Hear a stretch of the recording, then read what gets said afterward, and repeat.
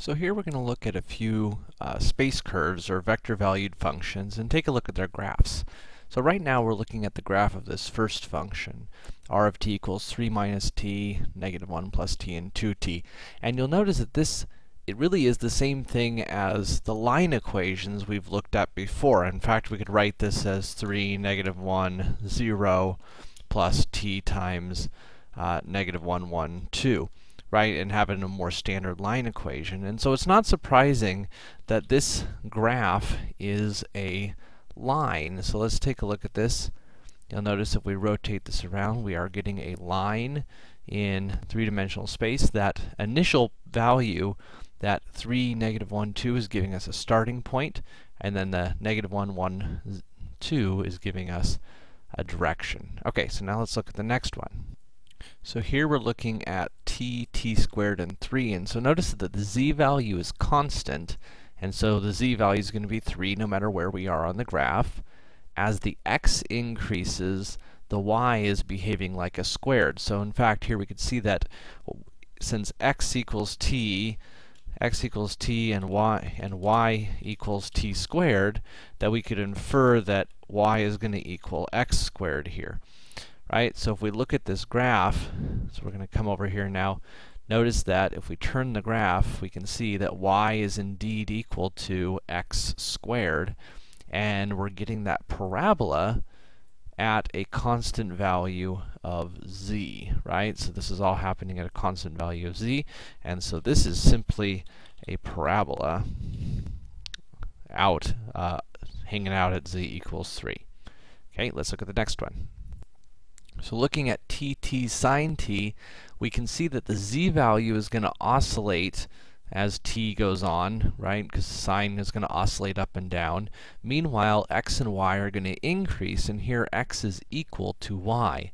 And so if we were to look at the graph, notice that x is equal to y, giving us the line in x and y.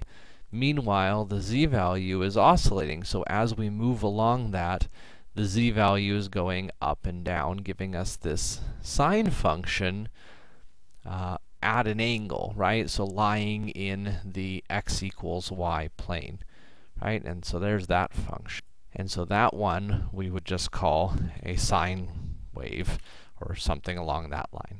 Okay, let's look at the next one. So like with our parabola, notice here that the y value is going to be constant. Meanwhile, in x and z, we have a cosine and sine pair, and you might remember from parametric equations that when we get a cosine sine pair, that usually gives us rotation. Uh, so here, uh, we are going to get a circle in x and z with a radius or an amplitude of 3. And so coming over here, you can see that in x and z, we are getting a circular shape with a radius of 3.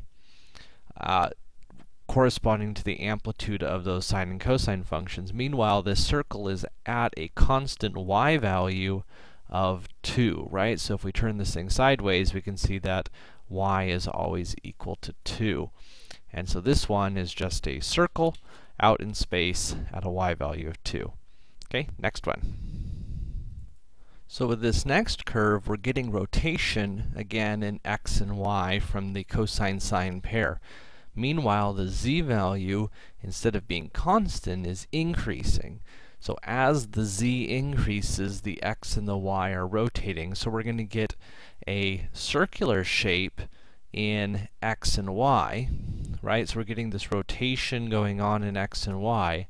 But as that happens, the z value is increasing, right? So as we rotate around, the z value is increasing, giving this shape.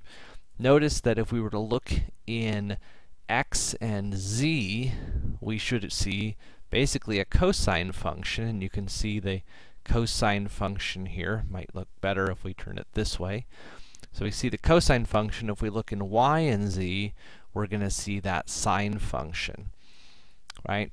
And so there's that shape. This is sort of the uh, spiral shape, or what is more technically called a helix. Okay, one more. In this last example, the radius of the helix is increasing as the z increases, giving us this sort of conical helix shape.